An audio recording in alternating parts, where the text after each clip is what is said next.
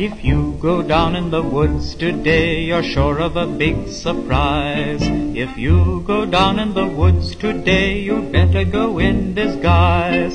For every bear that ever there was will gather there for certain because today's the day the teddy bears have their fear.